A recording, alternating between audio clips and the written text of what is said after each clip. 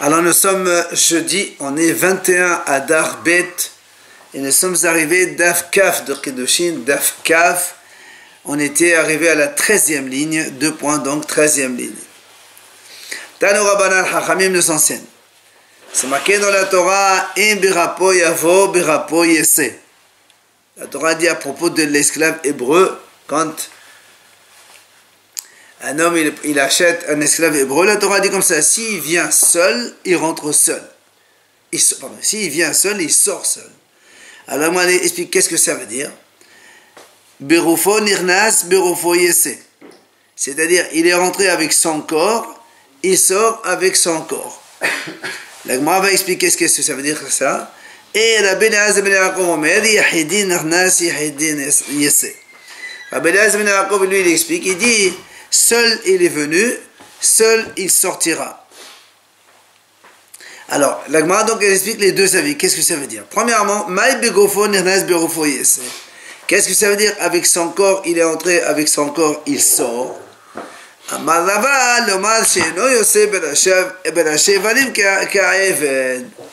Rava il explique, il dit, quand la Torah dit comme ça, il est rentré avec son corps, il sort avec son corps, c'est pour exclure le cas d'un esclave goy, que lui, si le maître, il le frappe, il le blesse à un œil ou un organe important, l'esclave, il sort libre.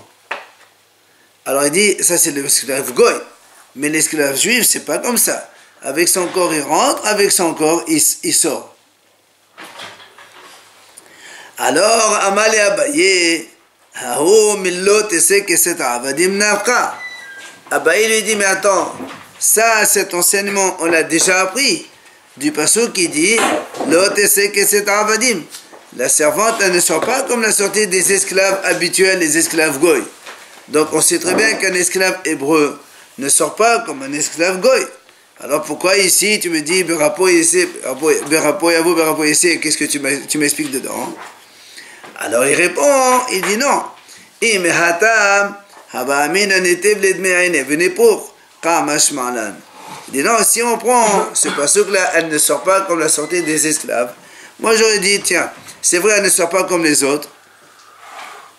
Ça veut dire que l'autre, le goy, lui, quand le maître le blesse par exemple à son œil, il est libre directement. Moi je vais dire, tiens, d'accord, le juif n'est pas comme le goy, tu lui payes le, dommage que tu lui as causé et tu le laisses sortir libre. Il te dit non, ici c'est pas pareil. Un esclave hébreu, quand il rentre, il n'a pas du tout le même statut que le goy. C'est-à-dire, il, euh, il, euh, euh, quand, il est considéré comme un vrai juif. S'il le blesse, il lui paye ses dommages. Zéro. Il reste seul. Il reste, bien sûr. Et pourquoi Yahid? Comment c'est Yahid? Attends, voilà. Maintenant, la Béléaz ben Yaakov Omer. Ça, c'est l'explication, donc, la première de Rabbi, du Tanakama. Maintenant, Rabbi il a dit Yahidi Nernas, il est rentré seul, il sortira seul. Alors on m'a dit, qu'est-ce que ça veut dire ça? Ma Amar Rab Nahman Bad Ishaq. Il explique Rab Nahman Bad Ishaq. Il dit, voilà comment il faut comprendre. Et.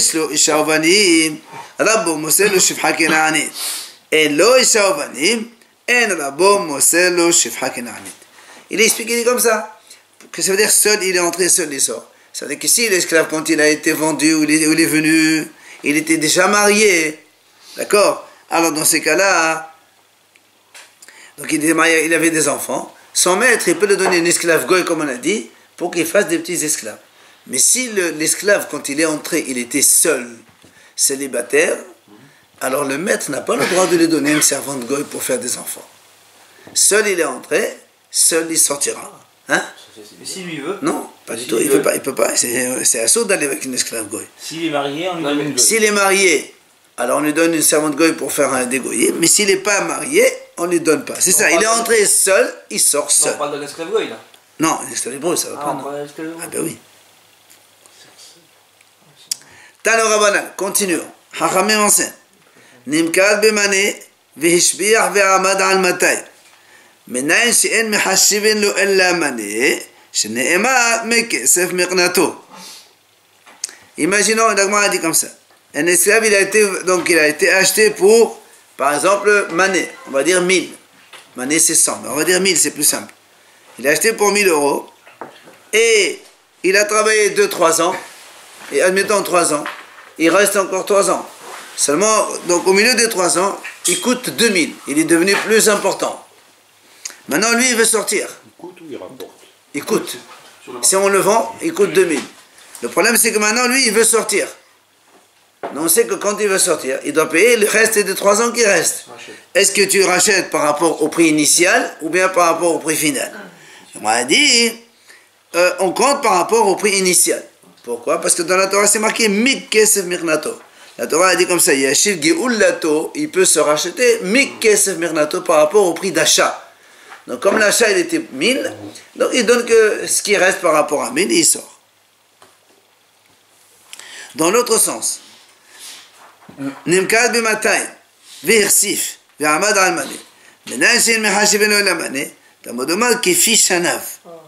Dans l'autre sens, il a acheté pour 2000, il a travaillé 3 ans, maintenant il est devenu faible, malade, tout ça, il ne coûte plus que 1000 sur le marché. Et il veut sortir. D'où on sait que là encore, il ne faut compter que par rapport au prix final de vente. a dit, parce qu'il y a un autre personne qui dit, Kefi Shanav, en fonction des années qui lui restent par rapport à ce qu'il rapporte. Donc, dans les deux cas, on va selon la valeur la moindre pour qu'il puisse sortir. C'est pas normal ça. Ah, justement. on va, commenter tout ça. Parce que d'un côté, on a un verset qui dit Mirnato par rapport à son prix d'achat. D'un autre côté, on a un passage qui dit Kefi Shanav, selon les années qui restent, il paye, il sort. Donc chez les qui reste, par rapport à la vente de maintenant. Non, la moitié du contrat initial. Euh, non, Kefi Shanav, parce que la, Torah elle parle là-bas, si il reste tant d'années, tu, tu comptes combien il te reste par rapport au nombre d'années et tu le fais sortir. Donc c'est par rapport au prix final. Quand on dit qu'il Shanav, en fonction des années qui restent, donc tu vois que les années qui restent. Mais la cohérence n'y est plus. très bien, on va expliquer pourquoi. Donc déjà, on a vu que dans les deux cas, on va selon donc, la valeur la moindre pour l'esclave. Maintenant, la a dit,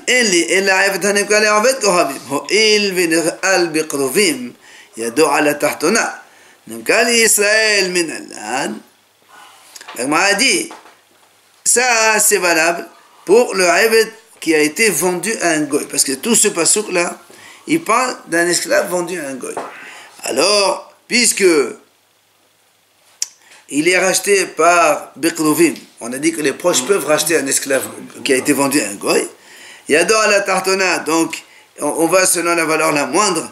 Nimkali Israël, maintenant, si c'est un esclave qui a été vendu à un juif, d'où on sait qu'on applique la même, la même chose, il est dit, Talmud Omar, Sahir, Sahir. Il dit comme il y a marqué Sahir dans le juif vendu à un goy, il y a marqué dans le juif vendu à un juif, alors on, fait la même chose pour les deux, Xera shava. Bien. Maintenant, Amal Abaye. Abaye dit comme ça, voilà, je me compare à Ben Azaï dans les marchés de Tiviria. Ça, c'est quand les Haramim, ils étaient en bonne forme. Il dit, ça veut dire, posez-moi toutes les questions que vous voulez, moi je vous réponds. Comme ça, ils disent. Alors, il prend l'exemple de Ben Azai. Ben Azai, c'était un homme très, très assidu, donc il étudie beaucoup la Torah. Donc, il dit comme ça. Alors, il vient, quelqu'un lui pose la question. Merde, il lui dit, c'est vrai, c'est la question que vous vous posez. On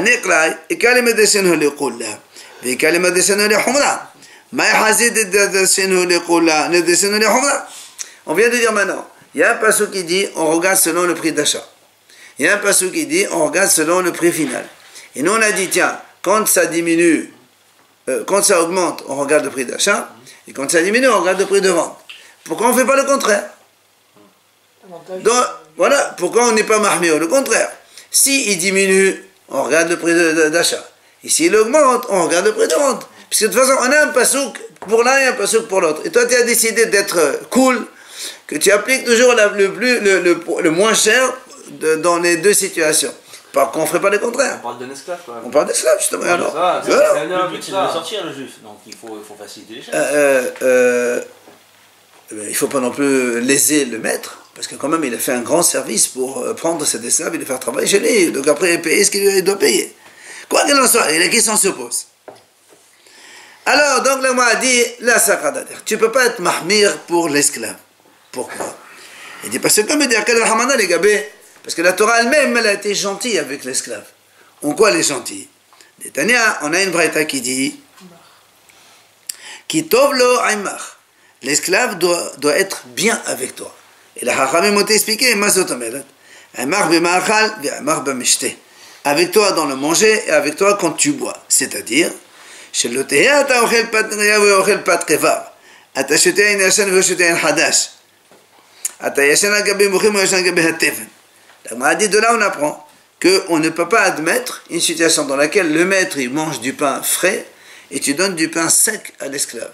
Ou bien le maître il boit du vin ancien et tu donnes du vin nouveau à l'esclave. Ou encore le maître il dort sur un matelas et l'esclave tu le fais dormir par terre. Ça c'est inconcevable. On parle de quel esclave juif Juif, juif, toujours juif, donc on est un juif. Et pourtant on parle de la même chose avec le non? Non. Non, ça c'est autre chose. Maintenant, les Hachamim disent, de là, Mikan Amru, de là, les Hachamim ont déduit, que celui qui achète un esclave hébreu, c'est comme si il s'achetait un maître en vérité, puisque tu dois le considérer exactement à égalité avec toi. Donc c'est comme si tu achetais un maître. Quoi qu'il en soit, on voit ici que la Torah était gentille avec un esclave, ben c'est pour ça qu'on est plus mérine avec un esclave. Bien. Bien, l'agma a dit, Emma, très bien. Tiens, il faut être gentil avec lui, je veux bien. Mais, qui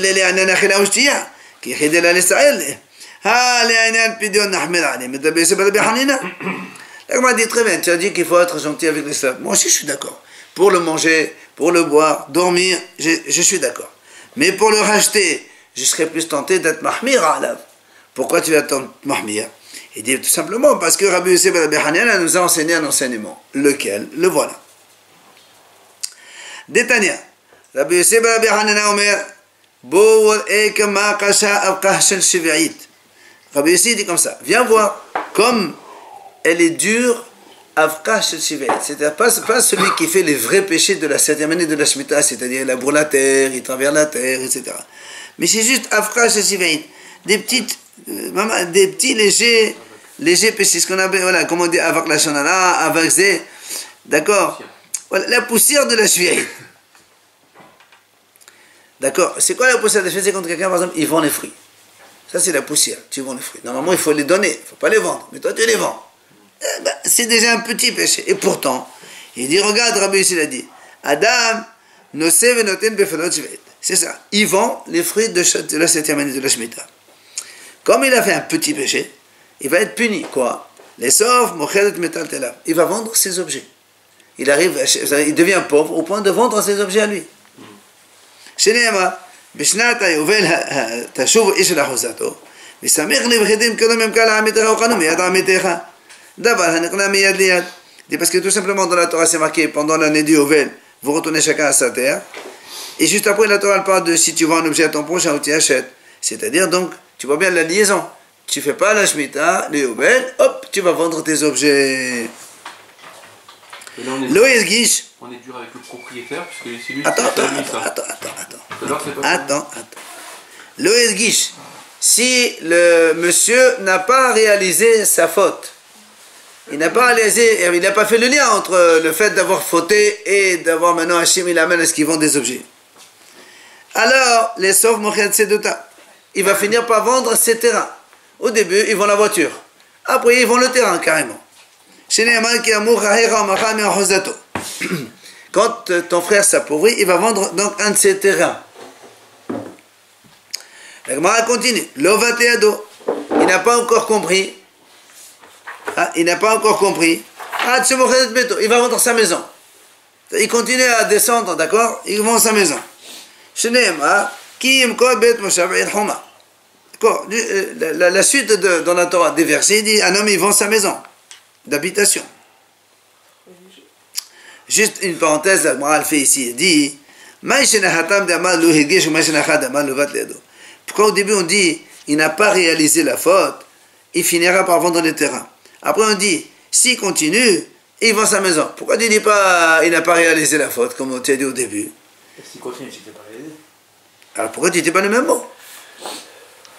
Alors il dit parce que Kidravuna. Ravuna tout simplement quand il a fauté une fois, il recommence une deuxième fois la faute, ça devient pour lui comme permis. Et m'a dit, comment l'eau c'est permis? Il dit non, elle devient comme si permis. C'est pour ça au début, il réalise. On dit non, il n'a pas réalisé que c'est à cause de ça.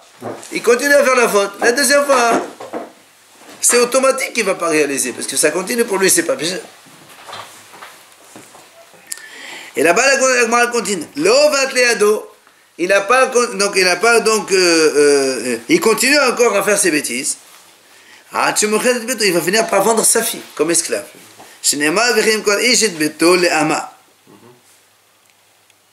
Gemara dit, pourtant dans la Torah, c'est pas marqué ce passage-là du tout. Comment tu fais l'enchaînement? D'abord, il vend ses objets, il vend son terrain, il vend sa maison, et maintenant tu me dis, il vend sa fille. Pas marqué qu'il vend sa fille là-bas. Dans la Torah, c'est pas marqué ça. Alors pourquoi tu en parles Il dit, c'est pour t'apprendre une chose.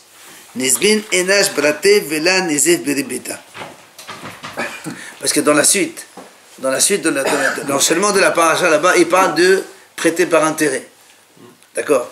Alors il dit donc, si on voit l'enchaînement, donc après d'avoir vendu la maison, il va, il va prêter, emprunter de l'argent par intérêt. or, la Torah dit c'est logique pour un homme de plutôt opter pour la solution de vendre sa fille et avoir un peu d'argent pour vivre, plutôt que de avec intérêt. Pourquoi? Maïtama dit tout simplement Parce que sa fille, quand il la vend, le temps il va, après elle va sortir. Au contraire, il déduit l'argent et il va sortir. Mais l'intérêt, plus le temps il marche, plus l'intérêt il monte. Donc c'est mauvais pour la, personne. C'est pour ça, un homme, avant de faire ça, il vend déjà sa vie. Et après, ah, tu vois, après si euh, il continue à, donc à, ses péchés, hop, la suite du pasouk, il va emprunter avec intérêt. Si ton frère s'appauvrit, donc il n'a plus les moyens, sa mère, la Torah dit attention, donc ne prends pas des intérêts, etc. Continuons la suite de, la dégradation. L'ovateado, il continue encore à faire des péchés. C'est cette même faute. Il va vendre lui-même, il va se vendre en tant qu'esclave.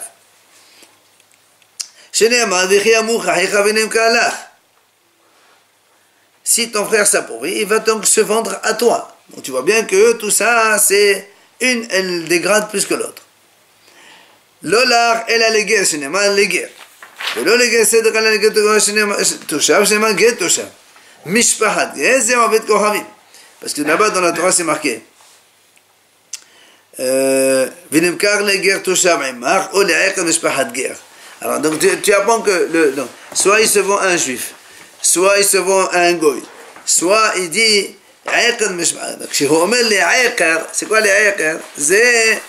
Il va se vendre pour l'Avodazara, pour être au service de l'Avodazara. Donc tu vois bien que quoi? Que la Torah ici, qu'est-ce qu'elle a fait? À propos de quelqu'un qui fait des bêtises, on continue, donc on fait un, enchaînement de dégradation. Le la Torah, est mahmira là il se voit un juif, après il se voit un gars, après il se voit pour la Vodazara. Tu vois, la Torah elle est en train de le. Euh, donc c'est rêve, on est mahmir, on aurait, on aurait pu être gentil. Alors tu vois bien qu'on est mahmir. Alors là aussi, donc manger et boire, je va bien, mais pour se racheter, il faut être mahmir. C'est la question qu'on a posée au début. Alors il lui dit Amal, il lui dit non, c'est pas pareil. Là-bas, euh, la Torah, euh, juste après ça, elle, elle, euh, elle devient plus indulgente et gentille. Pourquoi? Il dit c'est marqué dans les cheveux d'Arbishmael, on dit il dit, si maintenant ce monsieur, il a donc travaillé dans l'arbre d'Azara, imaginons qu'il devient carrément le curé là-bas sur place. Alors on va lui dire, eh ben voilà, va crever, laisse tomber. Non. Tamoudomar. La Torah a dit là-bas juste après, après qu'il a été vendu ce monsieur, fais attention, essaie de le racheter. Un parmi ses frères, il doit le racheter. Donc tu vois bien que quoi? Que la Torah nous demande de, le sortir de là-bas. Donc on est gentil. Alors là aussi, la Torah veut être gentille, non pas Mahmira. Il y a deux livres, vous avez dit que euh, Il se vend à son frère Ouais, au début, la première fois. Ouais. Il se vend à son frère comme ça Mais on n'a pas dit qu'il pas avoir comme frère ou soeur Non, son frère, ça veut dire un juif comme toi. Un juif. Après, ce sera un goy. Après, ce sera la Vodazara. C'est comme ça, ça, la dégradation. Alors, l'Agma, elle dit maintenant. Euh, d'accord, d'accord. Tu as dit qu'il faut être gentil. גאולת אלוהי כחדל לתמה בן עבודי רבים חלנה פדו נחמן עליהם אתה בסבב בחנינה למה dit tu as dit qu'il faut être gentil avec lui moi je t'ai dit d'accord c'est vrai pour le, le, le, libérer il faut être gentil avec lui pour ne pas justement le laisser se noyer avec les, les, et s'assimiler là-bas mais pour le rachat qui t'a dit qu'il faut être gentil? Peut-être quand t'es Mahmoud comme on a dit sur le Rabbi Yosef Hanina d'accord? Alors, Ahmad Abdahman Ben il vient Nachman et dit, en vérité, on a encore deux autres psukim. Très ktiv. Il y a deux autres psukim. Un pasuk qui dit ketiv, im od rabot bashanim. Ketiv, im mi'at nesh'at bashanim. Justement, la Torah dit à propos de, du rachat de cet esclave. Là, on a dit, s'il reste encore plusieurs années, bah, donc en fonction, tu rachètes. Si c'est vendu à un goy, euh, Là-bas, quand on parle euh, on parle ici euh, dans la vente d'un terrain. Alors c'est pour ça que le droit dit la même chose, on, peut comparer. Tu vas racheter un terrain en fonction du nombre d'années qui reste. S'il reste plusieurs années, on, fait pro rata et, tu rembourses et tu rachètes. Et le pasteur devient immédiat de Si maintenant il reste un peu, il reste moins, ben, tu payes moins et tu, et tu récupères. Alors, mais comme la Torah a employé le mot, le mot rabot bashanim, me'at bashanim, nous on croit, la Gemara dit c'est-à-dire, est-ce qu'il y a des années plus grandes que d'autres? Les années, c'est des années, mais à la botte grande. Et là, la Gemara dit non, de là tu apprends. Nitraba kaspo, mais qu'est-ce mernato? Nitmaet kaspo, kefi shanav. C'est ce qu'on a dit. De là on apprend, la botte bashanim, ça veut dire si il augmente le prix. Alors, Mikes Mernato, ça c'est le passage qui le dit, tu prends, tu vas selon le prix initial. Mais si Me'ad Bashanim, ça veut dire qu'il a diminué le prix. Alors là, tu vois Shana selon en fonction des années qui restent. Ça répond à la question qu'on a dit nous, que pour l'esclave, s'il a diminué de prix, tu vas selon les fonctions, donc les années qui restent. S'il a augmenté de prix, tu vas en fonction du prix d'achat, donc il a été vendu la première fois. Alors, m'a dit très bien, pourquoi tu dis pas le contraire, enfin autre chose?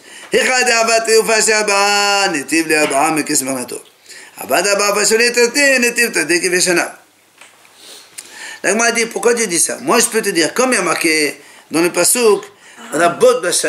S'il y a plusieurs années, là-bas, il y a marqué, mais qu'est-ce que tu vas selon le, premier, le prix d'achat initial. Moi, je vais te dire comme ça, on peut raisonner aussi de cette façon. Imaginons qu'il a travaillé que deux ans seulement. Il lui reste quatre ans. Comme il reste plusieurs années, alors tu vas selon le prix initial. Maintenant, si c'est le contraire, il a travaillé quatre ans, mais il ne reste que deux. Alors là, tu vas selon le prix final. Alors il dit, Imken, hein selon les années qui restent. Et justement, mais par rapport à quel prix? Le prix initial ou le prix de maintenant? Le prix d'achat du, du, de l'esclave ou le prix de, de, la, de la, valeur de l'esclave maintenant? Ben, C'est la question qu'on a posée au début.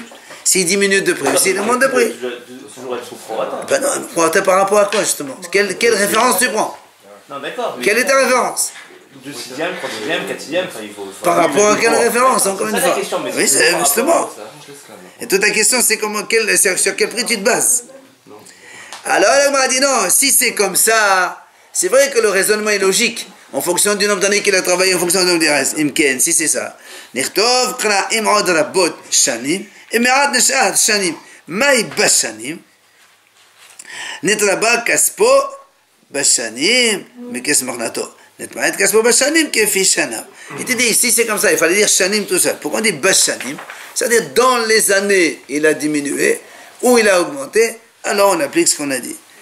L'Agma conclut Amar Rav Yosef, Rav Nachman Ça veut dire Rav Nachman il a bien expliqué ces psukim là, bien comme il faut. Donc ça c'est la conclusion, comme quoi si un esclave il diminue de prix, on va aller selon la fin des années, donc le prix final. Et s'il augmente de prix, on va selon le prix initial. C'est comme ça qu'on conclut. Maintenant,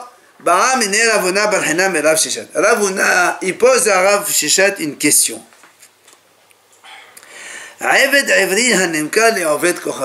Un esclave hébreu qui se vend, qui s'est vendu à un goy.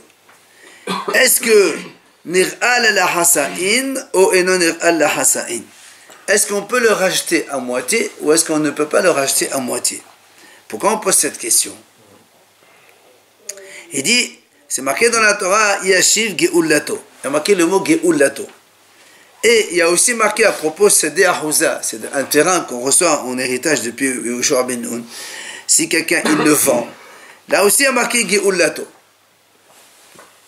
Alors, il y a donc le statut des terrains comme ça. La Torah dit comme ça, si un homme, il a vendu un terrain, donc qu'il a reçu un héritage, il ne peut pas le racheter à moitié. Ou tu le rachètes entièrement, ou tu le rachètes pas. Ça, c'est le terrain Ahouza, c'est des Parce que la Torah a dit, au matzah, kede geulato. Kede, c'est-à-dire comme le rachat. C'est exactement le prix. Tu l'as vendu. Lui, il a eu un héritage, lui? Oui, c'est de héritage de Yoshua de sa tribu. Pourquoi il doit le racheter Non, il l'a vendu. Oui. Il a vendu, il a, eu besoin d'argent. Maintenant, nous, on sait que si euh, on lui donne l'autorisation de racheter ici, après un certain temps, ah, d'accord Mais s'il ne rachète pas, il va aller au, Yovel, il revient. Alors il y a une différence entre Sadir Hosa, Sadir Bata on va les voir maintenant.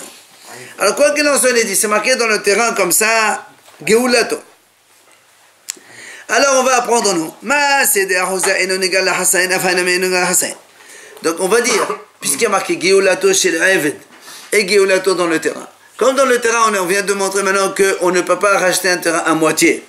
Alors on va dire pour l'esclave qui est vendu à un goy aussi, on ne peut pas le racheter à moitié. Ou bien, au dilma, ou tu vas me dire non. Pour quand on veut être Mikhil, eh bien on dit on compare avec le terrain. Quand on Mahmir, on ne compare pas. Et donc on peut le racheter à moitié. C'est la question qu'on pose. Amale, il lui répond. Il a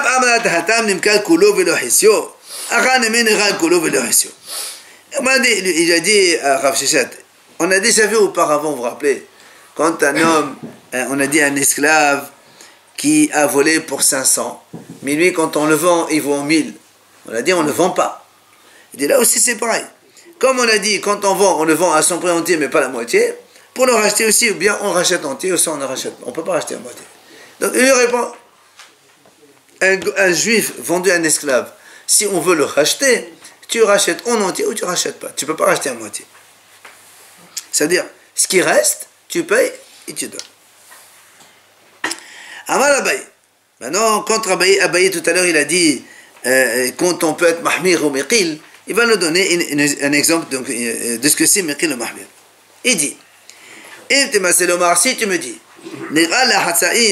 on peut libérer un esclave qui a été vendu à un goy à moitié on peut trouver un cas cool ou un cas on est mahmir, on est sévère. C'est quoi? Les bon, maintenant dans le cas où c'est cool, comment ça se passe? Imaginons, Zavne. Lui, le, le, le goy, il a acheté l'esclave 100 pour le travail de 6 ans. 100. Il y a Hamshin, pas des damés, le juif, il lui a donné 50. Il reste encore 50 pour sortir. Alors, euh, VHBah. VHBah le matin. Maintenant, l'esclave, il vaut 200. Alors, si tu dis qu'on peut le racheter à moitié, alors comme maintenant il vaut 200, et comme il a, au début, lui, qu'est-ce qu'il a payé? Il a payé 50 à moitié. Il reste encore l'autre moitié. La moitié maintenant, c'est moitié 200. Il faut donner 100. Tu donnes 100, il te libère. Maintenant, si tu me dis non, on ne peut pas racheter à moitié, il faut tout racheter. Il y a les et il lui donne 150, il sort. D'accord? Alors, la ma'adi, ve'ha'amalat netabo, kespo, me kesem mirnato. Alors, comment, pourtant, nous, on a dit tout à l'heure que si il augmente le prix, on va selon la référence la moins chère. Et si tu me dis on va selon le plus cher, non, là-bas on parle qu'il rentre des Là-bas, il, il a augmenté de prix, il a diminué, et après il a augmenté encore de nouveau de prix. C'est là-bas on dit, c'est Mickey, c'est Mernato. Et on pense une baisse de 100. Hein? Sur une base de 100 au début. C'est pour ça, mais là, mais là ici, tu, tu pars sur la base de 200, puisqu'on a dit tu donnes la moitié 100. Au début 100. Au, début, il a été vendu pour 100. Il a donné 50 à moitié. Il reste la moitié. Maintenant, il coûte 200. On dit il faut donner 100 pour sortir. Donc la moitié de 200. 150. Ah, donc ça, tu ne vas pas à moitié. Maintenant, comment on peut être mahmir Il a acheté pour 200. Il a, par exemple, il lui a donné 100 déjà, il reste encore 100. Maintenant, le problème c'est qu'il Il est devenu plus maigre. Il vaut que et si tu dis que c'est par moitié, donc la, ta première fois, il a donné la moitié de 200, il reste 100. Maintenant, comme il coûte que 100, il faut donner la moitié de 250, il sort, il y a bien Maintenant, tu me dis ça ne se rachète pas à moitié, comme lui, il coûte maintenant que 100, il lui a donné déjà 100 auparavant, il a donné le gabi, D'accord Maintenant, les 100 qu'il lui a donné, c'est considéré les 100 de maintenant, il peut sortir directement. Ravuna il pose une deuxième question à Rav. Il lui dit Si un, homme vend une maison dans une ville entourée de murailles, le statut des maisons dans une ville entourée de murailles, il est différent. C'est-à-dire là-bas, la Torah elle dit quand on vend, on vend une maison dans une, voilà, une ville entourée de murailles, tu as le droit. La première année, tu la rachètes au-delà de permanent, si tu la rachètes pas, c'est fini, elle n'est est plus à toi. Elle reste pour l'acheteur à jamais. Alors c'est pour ça lui dit, si quelqu'un il a vendu une maison dans Bater Adehoma, donc une ville entourée de murailles, est-ce qu'on peut la racheter à moitié ou pas? Là aussi, la a dit, comme dans le terrain normal, il y a marqué Geolato, et là-bas, il y a marqué qu'aider, on ne peut racheter que la totalité. Alors là aussi, c'est marqué, on dira la même chose. De la même façon qu'un terrain, il ne peut pas se racheter à moitié. Donc ça aussi, la ville, donc la, maison dans une ville entourée de murailles ne se rachète pas à moitié. Ou Dilma, ou bien tu vas me dire non. Donc là où la Torah a dit oui, tu n'as pas le droit, tu n'as pas le droit. Mais la Torah, quand elle ne te dit pas, eh ben, je peux le faire. Alors, quelle est la réponse? Amalé lui a dit, écoute, mais à partir de l'enseignement de Rabbi Shimon, je apprends la réponse et je te la donne. C'est quoi? Il a le droit non seulement de racheter à moitié, mais il peut même aller emprunter de l'argent chez quelqu'un pour racheter sa, maison à moitié. Comment tu sais? Il dit voilà, c'est marqué dans une vraie il y a marqué Im Gaol al. Pourquoi la Torah le répète deux fois? Gaol al. Mais la med, ça c'est à propos d'un terrain normal, un terrain qu'on a cédé à José, qu'on a reçu en héritage, qu'on a vendu, et que la Torah me donne le droit, mais seulement de le racheter en totalité. Mais la med, c'est le Vegoel Et on peut emprunter de l'argent et aller le racheter en moitié. Amar Rabbi Shimon, Matam. Rabbi Shimon dit pourquoi? Parce qu'il dit, les fiches Masene Bemochet, c'est la Quand un homme, il vend un terrain dont justement qu'il a reçu un héritage, la Torah lui a donné un avantage, qu'ici il n'arrive pas à racheter, au Yovel, elle lui revient. Mais d'un autre côté, la Torah lui a donné un inconvénient. La Torah ne lui permet pas d'emprunter ni de racheter en moitié. Donc ton avantage, c'est que si tu arrives à le racheter en entier, euh, euh, si tu n'arrives pas à racheter, il te revient à toi après le Yovel. Mais tu as un inconvénient, tu n'as pas le droit d'emprunter de l'argent pour le racheter, et même si tu as de l'argent, tu ne peux pas le racheter en moitié, en, totalité. Alors dit dans ces cas-là, Mardish, hein? Il est où le sort d'emprunter pour racheter? C'est la Torah qui le dit. Pourquoi, pourquoi il ne peut pas emprunter? C'est la Torah qui le dit. C'est comme ça.